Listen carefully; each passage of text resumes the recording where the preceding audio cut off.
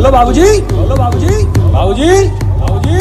ओ भोसड़ी वाले बाबूजी। क्यों ठाकुर साहब आज कौन सा टिकटॉक बनाने आए हो? अब मैं टिकटॉक नहीं बनाता क्यों?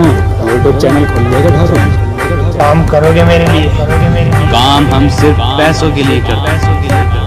पूरी बात सुन ले माधव चौक। काम हम सिर्फ़ पैसे दो जी बी नेट एक आईफोन मैक फॉर्चूनर वगैरह। पबजी में दो रॉयल पास ठाकुर साहब